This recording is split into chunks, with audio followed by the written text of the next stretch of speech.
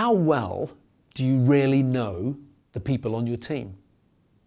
I once heard the phrase, Starbucks are growing their business one cup of coffee at a time. That's a great expression that easily translates to the salon world, that we are growing our business one client, one haircut, or one staff member at a time. If you're serious about growing your business, you have to be serious about growing your people, and you can't grow them if you don't really know them. That's why it's essential that you have a formal appraisal at least once, if not twice a year, with everyone on your team.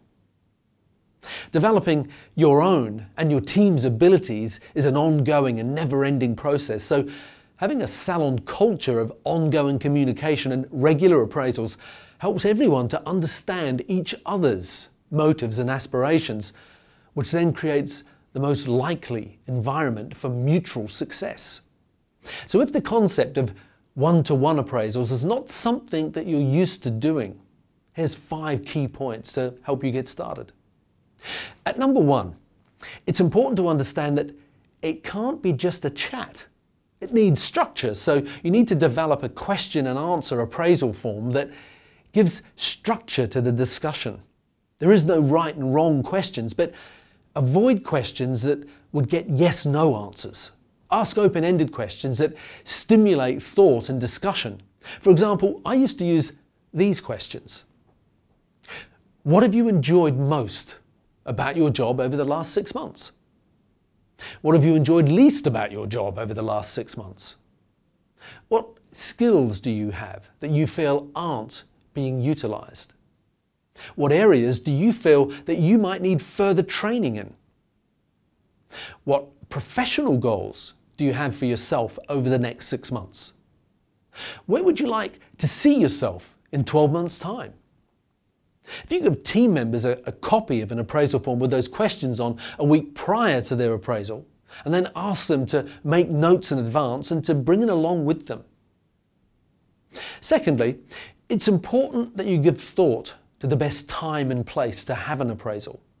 Allow plenty of time. You don't want to rush it. I suggest that you allow at least an hour minimum for each person. If you have an office, then that's where you should do them. But if not, you need a private and a quiet setting. If you have to have it in a coffee shop, for example, at least make sure that you have a quiet spot to ensure that you're free of any distractions from clients or, or phones or passers-by, etc., as that destroys the flow of the discussion. Thirdly, it's important that appraisals should be a positive and motivating experience. All too often, employees view appraisals as a negative and they think that it's just going to be about being told off. Avoid the tendency to focus on reviewing all the negative occurrences that have happened over the last six months. I think that you're better off to deal with them as they happen rather than wait for an appraisal.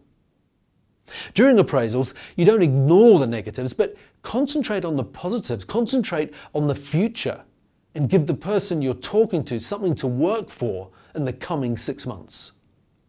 Fourth, the appraisal is a time for you to listen. I mean, really listen.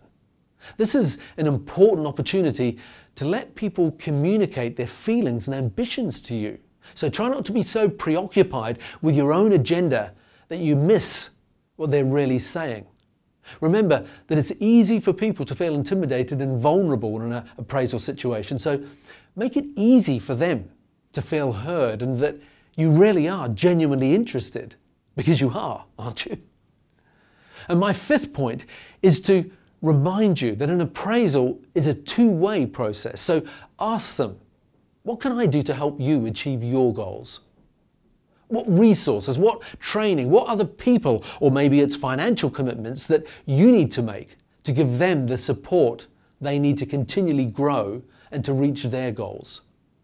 During the appraisal, make notes as you go and finish with some clear, measurable objectives and a plan that you're both in agreement with and both committed to turning into reality.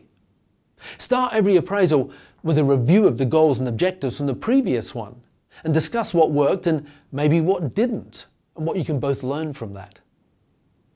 So thank you for watching, and if you don't already subscribe to the 2 Minute Salon Manager, you can do so by visiting growmysalonbusiness.com. Have a great week.